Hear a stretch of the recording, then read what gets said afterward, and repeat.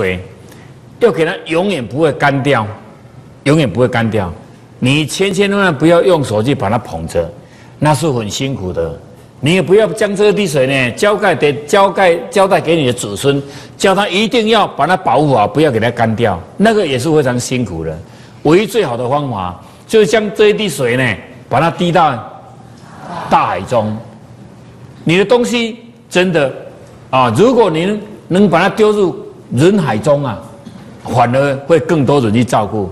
你看我们贵人讲堂盖好之后，你没有感觉？我们每个楼梯口啦、转角处啦，都有一些香绣、一些古董、一些图画，哈，这个都是名书的名书的的创作哦。包括这书法家写出来的画的那个的那个那个书法，包括那个画都是名名家画的，啊，为什么有这么多东西？不是买的，有智慧的人捐出来的，叫做省智慧，哦，因为是人家给他的。哦，他当立法委员，人家会会不会东西给他？会东西给他，他会东西给他。如果他叫他一个人自己去照顾这些东西，有没有痛苦？一定会痛苦。顺到最后，搞不好他会坏掉，留给他的孙孙孙子他们不一定他们能守住这些。但是你看，他把它施舍出来，给这么多的家人来欣赏，好，可以永远永远的流传下去。因为这个房屋不可能卖，啊，买的人到最后他还是来当一个公公共场所，哈，这些东西他就不会消失掉，好，这对物啊，你不要执着，不要贪着，啊，不要痴迷不悟，这些对你来来说呢，人生都是一种痛苦，哈，好，一物呢，止于至善，在卫灵公啊第十五、第十章呢，啊，他就有一段说，接近良师益友呢，得以切磋琢磨。好，这一段就要谈这件事。这个地方我可以谈一下。我们每天都在探讨这些专题，我们几个人，我的感觉呀，真的三个臭皮匠就会胜过一个诸葛亮。我们真的只有三个人，哈啊，就徐讲师、张讲师就喊我们三个人，就是三个人都各有长短。我不会的，他们会，但他们讲给我听啊，我就会了。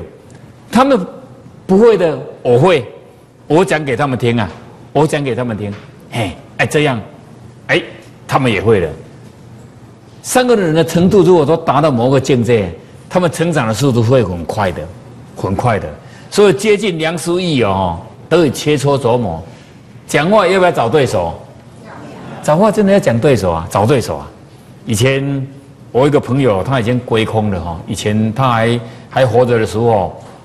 有机会我去和他聊天，我们一谈都一定会超过十个钟头以上，一讲今天一定会讲十超过十个钟头，哦，最少都还吃过两餐的便当，哦，都没有人去打扰我们，就是一个泡茶都没有声音，全部时间一到之后便当就送进去，啊，吃完吃完的时候继续再聊，就这样一聊聊都是这样，哎，他说讲话要找对手，找上对手哦才好聊天呐，哦，谈的都是同一个境界。那个就是良师益友啊，才能切磋琢磨。在《卫灵公篇》第十五、第十章啊，主公问仁，子曰：“我们来谈练练一下。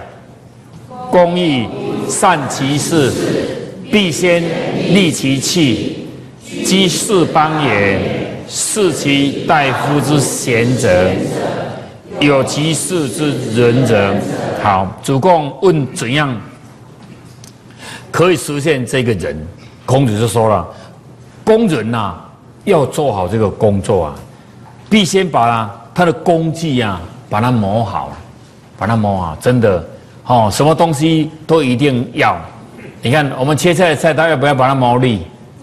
一定要把它磨利，哈，把它磨好了，磨利呢就很好。当个厨师，他切东西起来就会非非常的好切，哈啊，当个当个那个那个那个。反正所有用到刀具这一类型的，都要经过呢啊，把它磨好呢，他才才好下手。所以生活在哪里呢？就是要追随那一个地方的高尚的领导者，哦，追随他，哈，结交那个地方呢有修道的伦理之士。这个人有修，你跟在他身边，你不会吃亏，你一定会赚到。如果你交到一些呢啊喜欢喝、喜欢赌呢、喜欢打架的，你教到他。